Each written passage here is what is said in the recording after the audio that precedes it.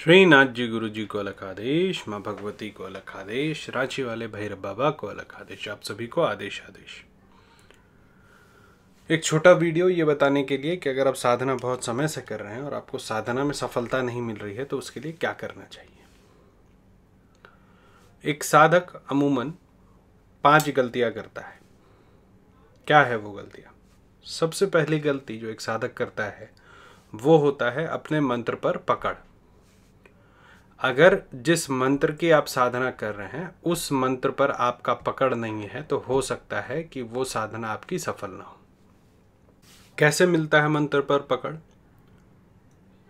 तो जो हमारा तांत्रिक विधान है, जो पद्धति है, उसमें एक विषय बताया गया है कि आपको छः महीने किसी भी मंत्र को बोल करके, फिर छः महीने उसको इस तरीके से बोलेंगे कि सिर्फ़ हम उस मंत्र को सुन सकें और फिर छः महीने उसका अजपाप करेंगे। मतलब डेढ़ साल एक मंत्र को परफेक्ट होने में लगता है। परफेक्ट होने से मतलब है कि उस मंत्र को जब आप बोलते हैं तो उस मंत्र से सही फ्रीक्वेंसी बाहर आती है। आप ऐसे अगर किसी मंत्र को बोलेंगे तो हो सकता है जिस फ्रीक्वेंसी में उस मंत्र को आना चाहिए, वो फ्रीक्वेंसी नहीं आए। ठीक है? तो आजकल हम क्या करते हैं कि आज एक साधना किया, कल दूसरा साधना किया, तीसरा साधना किया। तो इसमें मैंने आप लोगों को बता रखा है कि आप अलग अलग साधनाएँ कर सकते हैं। जो विशेष फल के लिए साधना होती है, वो कर सकते हैं। लेकिन एक साधना को अगर आपको परफेक्ट करना है तो पहले डेढ़ साल उसके मंत्र को परफेक्ट करना चाहिए।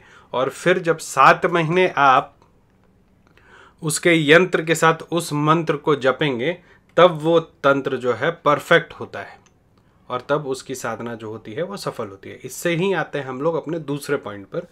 दूसरी गलती जो हम लोग करते हैं वो है यंत्र पर पकड़ ना होना।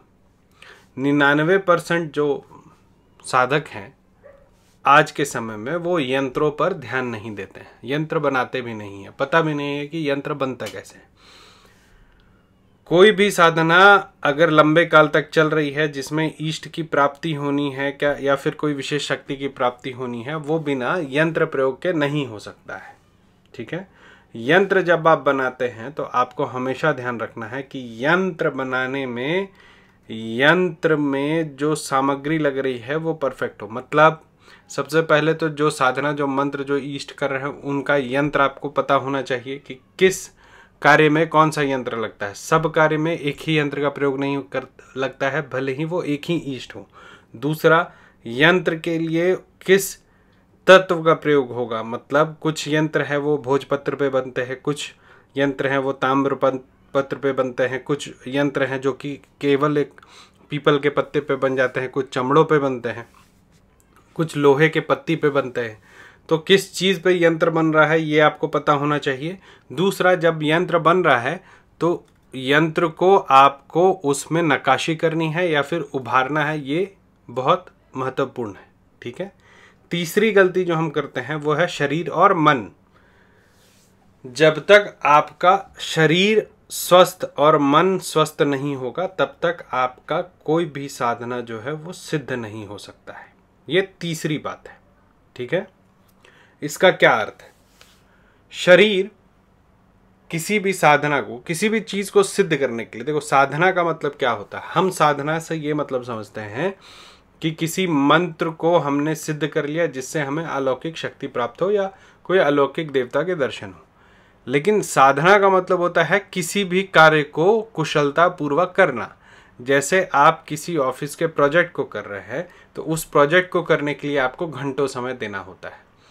साधना में उसमें एक चरण आगे बढ़कर ये है कि आपको साधना में एक ही समय में, जैसे आप ऑफ़िस या आज के डेट में जो भी कार्य करते हैं, उसमें ब्रेक ले लेके करते हैं। साधना में एक मोनोटोनस सिचुएशन होता है। हर रोज़ दो घंटे तो हर रोज़ दो घंटे साधना चल रहा है और वो आपको एक सिटिंग में अगर बैठ के आप करते हैं तो ज़्यादा बेहतर रहता है।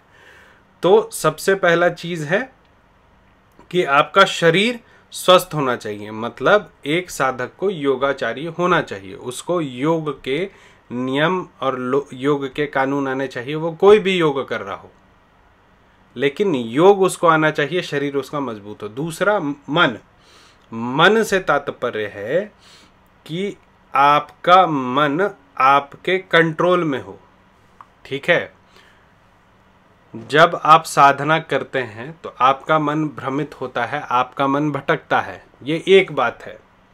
और साथ में, क्योंकि आप गृहस्थ साधक हैं तो गृहस्थी भी चलानी होती है। आज के दिन में जो साधक शहरों में रह करके सन्यासी है, वो भी गृहस्थ माने जाएँगे। क्यों?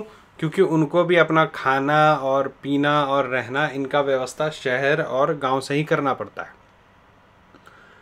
तो मन भी हमेशा विचलित रहता है अलग अलग चीज़ों के लिए। तो मन पे भी कंट्रोल करना ज़रूरी है। तो योग के साथ जो बहुत महत्वपूर्ण चीज़ है, वो है ध्यान।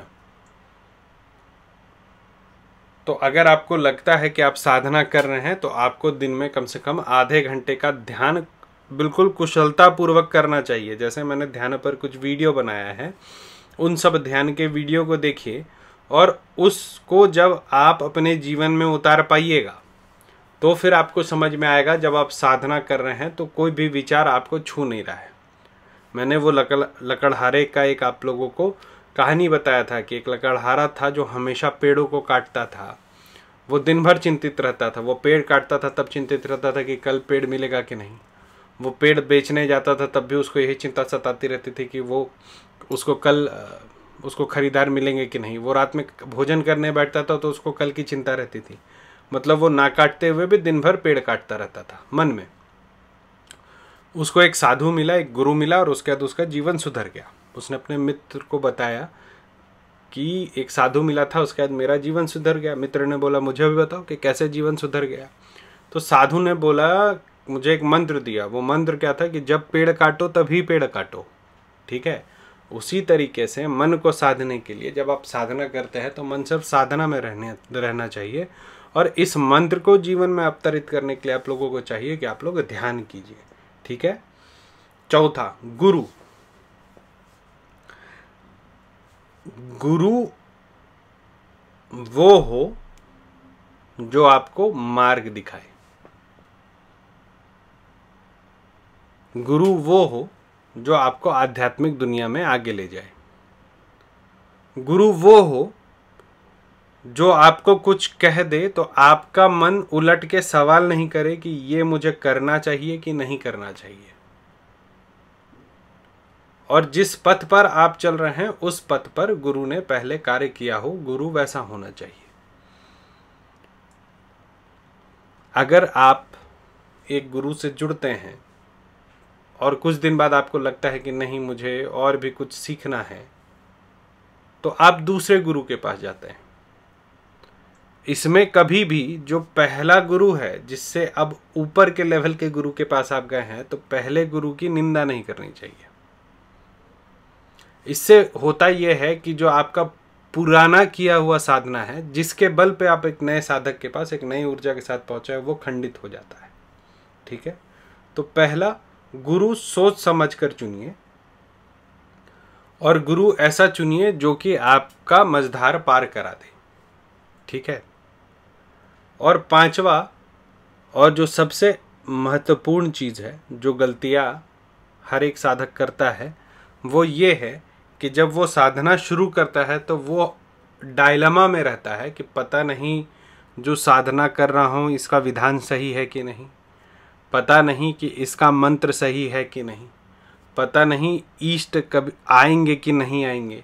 पता नहीं कि इतना जो साधना में विधान दिया गया है, मैं निष्ठापूर्वक कर पाऊँगा कि नहीं? ठीक है?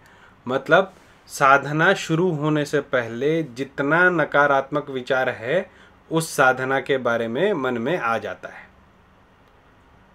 तो पांचवा जो गलती आप करते हैं, वो ये है कि साधना शुरू करने से पहले आपको ना साधना पे विश्वास है, ना गुरु जिसने मंत्र दिया है उस पर विश्वास है, ना आप एक साधक होके आपको खुद पे विश्वास रहता है कि ये साधना आप कर पाएँगे। तो ये पाँच गलतियाँ अगर आप सुधार लेंगे तो कल से आप जो साधना शुरू करेंगे, वो सफल रहेगा, ये मेरा वचन है आप लोगों से। आज के लिए इतना ही। जिनको पेड व्हाट्सएप ग्रुप से जुड़ना है, वो मेरे number nine four three one one, eight eight five eight five पर जुड़ सकते हैं। शुल्क इक्कीस सौ रुपये है। जिनको मेरे आगामी कार्यक्रम के बारे में जानना है, जिनको मेरे शिविर में आना है, वो W W W dot dot com पर जाते हैं। उसमें डिटेल्स, अपडेट्स आते रहते हैं। डायरेक्ट बात करने के लिए कॉल मी फॉर ऐप है, ऐप स्टोर और प्ले स्टोर पर। उसमें Rudranath eight C M four search करेगा तो मेरा प्रोफ़ाइल मिलेगा, उस पर आप मुझसे डायरेक्ट बात कर सकते हैं। भगवान अघोरेश्वर, आप सभी की रक्षा करें। ऐसी मेरी उनसे प्रार्थना है। भगवान भैरव, आप लोगों को धनाट रखे, ऐसी मेरी प्रार्थना है। आप सभी को आदेश आदेश, अलग आदेश।